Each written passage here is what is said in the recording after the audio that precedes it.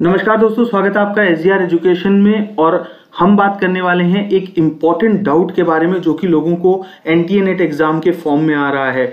देखिए, ज़्यादातर लोगों को फ़ोटो को लेके रूल्स क्लियर नहीं है तो मैं आपको कुछ रूल्स बता देता हूँ जो कि फ़ोटो को लेके आपके दिमाग में क्लियर होने चाहिए ताकि आप फॉर्म में कोई भी गलती ना करें, क्योंकि अक्सर ये गलतियाँ थोड़ी महँगी पड़ जाती है। अगर आप एनटीए नेट की तैयारी कर रहे हैं तो पेपर वन के लिए आप हमारी फ्री क्लासेस ले सकते हैं। रोज रात को नौ बजे क्लास होती है और ग्यारह बजे क्लास हो रही है।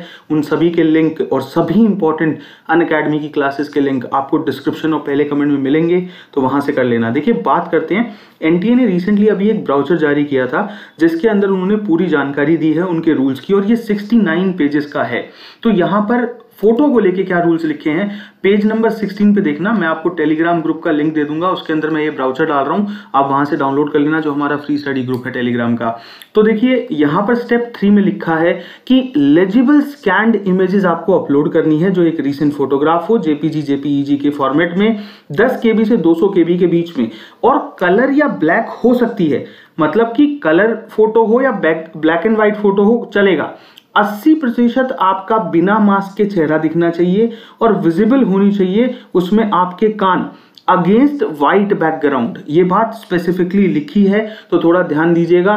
जिनकी भी फ़ोटो व्हाइट बैकग्राउंड में नहीं है, कोशिश करिएगा कि नई फ़ोटो खिंचा के ही फॉर्म भरना। अब इसके 18 नंबर पेज पे रूल्स कुछ और लिखे हैं, जो कि फ़ोटो को लेके है, वो भी आपको एक बार बताने बहुत ज़रूरी है। देखिए कैंडिडेट की जो फोटोग्राफ है, उसको लेके एटीन पेज पे रूल है कि photograph must be taken on or after एक दस दो हज़ार बीस। एक दस दो हज़ार बीस के बाद की फ़ोटो होनी चाहिए, जो कि छह महीने का जनरली रूल चल रहा है फ़ोटो को लेके।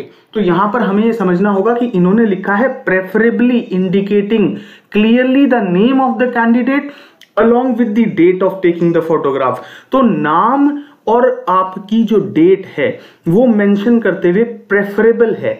कंपल्शन नहीं लगाया है इन्होंने। तो लेकिन अगर आप नई फोटोग्राफ खिंचा ही रहे हो, फॉर्म अभी भरना बाकी है तो मैं यही कहूँगा कि एक इस तरीके की फ़ोटो खिंचवा लीजिए। यहाँ आपका नाम आएगा, ये आपकी डेट हो गई, और वाइट बैकग्राउंड के इधर आपके जो हैं वो ईयर्स भी विजिबल होने चाहिए, और वाइट बैकग्राउंड होना चाहिए फ़ोटो का, ताकि आपको कोई भी समस्या का सामना ना करना पड़े। अगर आप चश्मा लगाते हो रेगुलरली तो ही चश्मा लगाइएगा।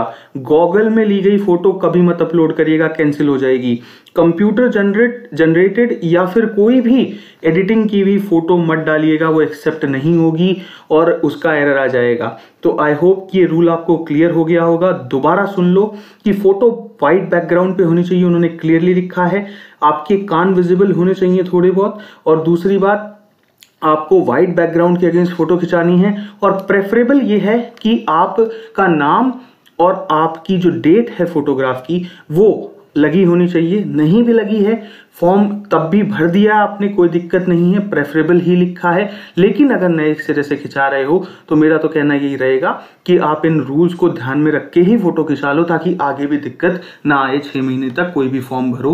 तो शुक्रिया, चैनल को सब्सक्राइब करिए, सभी इंपॉर्टेंट इन्फॉर्मेशन आपको मिल जाएगी यहाँ पर। और कोई वीडियो आपको चाहिए हो तो कमेंट कर देना।